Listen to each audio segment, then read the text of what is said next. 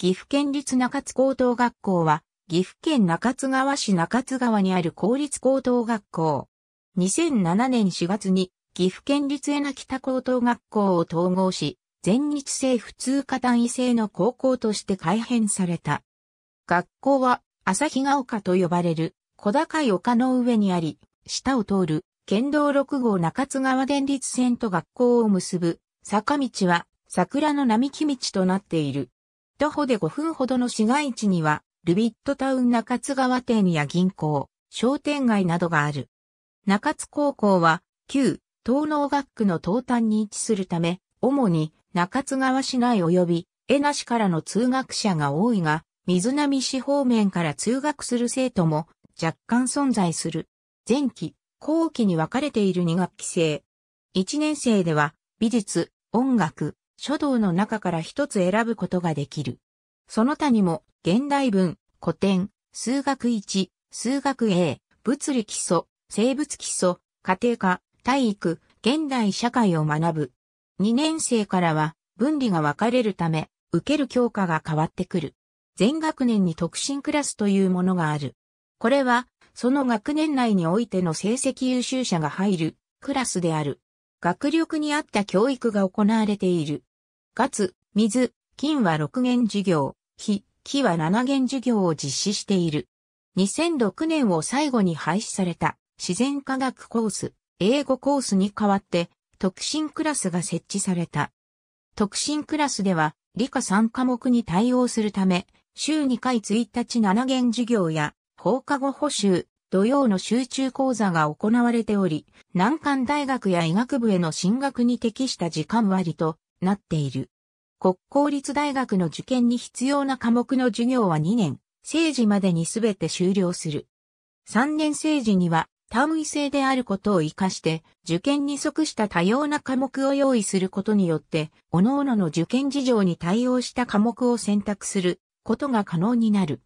また、3年生時には大学入試に対応するため、特攻といった独自の科目を用意する。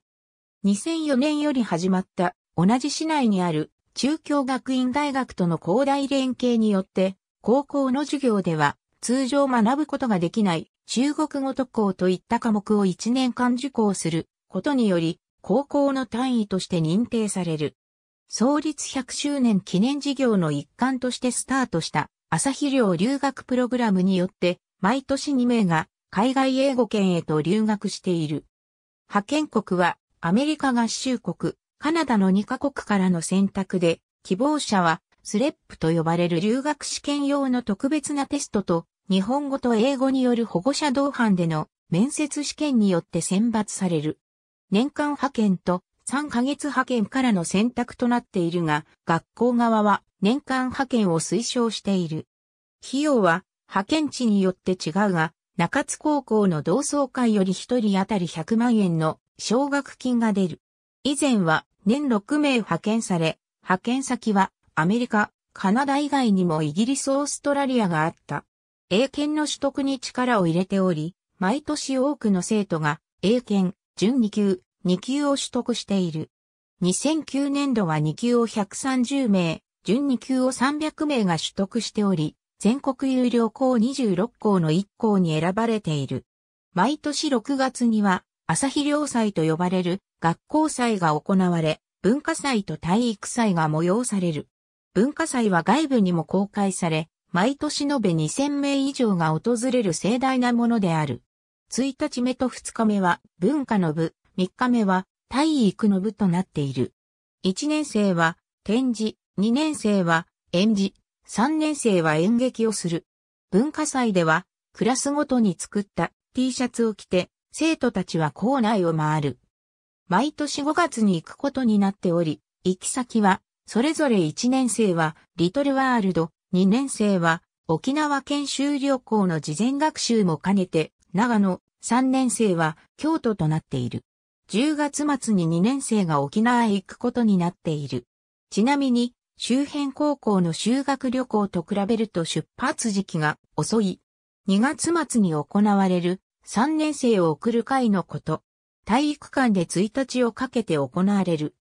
後輩や転勤した先生からのメッセージビデオや、職員たちだけでの演劇など、卒業式前最後のビッグイベントとも言える内容になっている。校舎は第一棟から第三棟まであり、校舎間は2階、3階と渡り、廊下で結ばれている。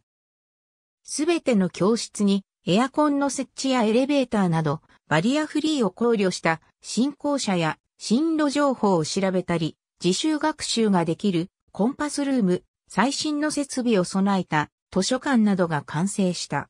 部活動では、ウェイトリフティング部が国体やインターハイなどに出場している。2009年は個人で全国優勝、3位入賞を果たしている。2010年も出場し、3位入賞を果たしている。その他、ギターマンドリン部も全国大会に出場経験があり、県大会上位が常連の部もあるなど盛んである。生徒のほとんどが進学を希望し、生徒の8割から9割程度が4年生大学へと進学している。同じ1966年に県立エナ農業高校が新設されている。ありがとうございます。